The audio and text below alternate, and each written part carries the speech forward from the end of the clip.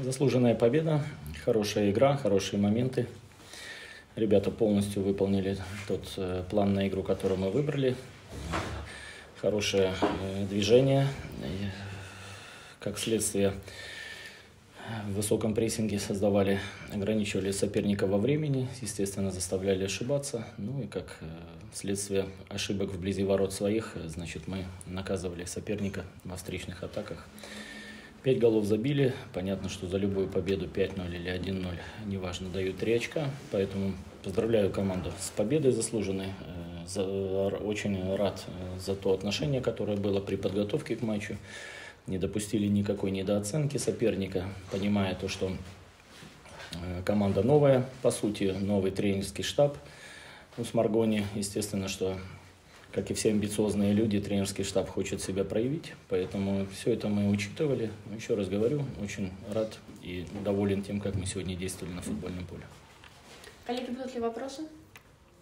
Если за столица, как считаете, почему второй тайм получился фактически безголевым, если не считать первого гола? Ну, как вот фактически как безголевым, если во втором тайме гол забит. Это как Вначале, а потом 44 ну, минуты.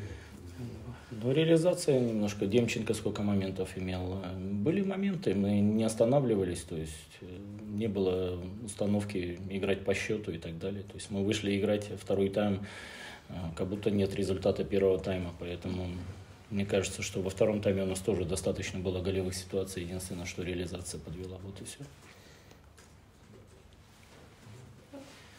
Владимир Викторович, скажите, какая кадровая ситуация была перед матчем? Не было заявки Быкова, Селявы, Хвощинского, может, кого-то еще запамятовал? Селява перелом пальца на ноге.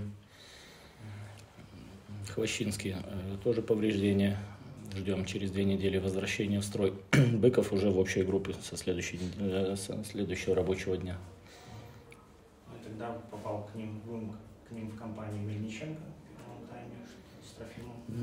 нет пока заключения. Естественно, что есть опасения, что, возможно, серьезная травма. Не хотелось бы, конечно, но ждем заключения. Будут ли еще вопросы? Пожалуйста.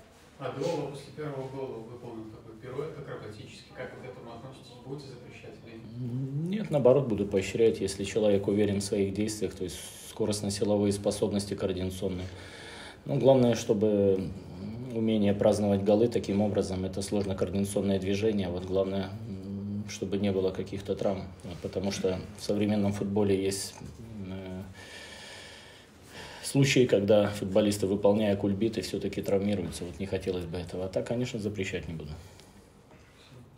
Владимир Викторович, а замена кролика, который, в принципе, много был с мячом работал, в первом тайме направлял атаки, успевал везде, и заменили его. В чем причина?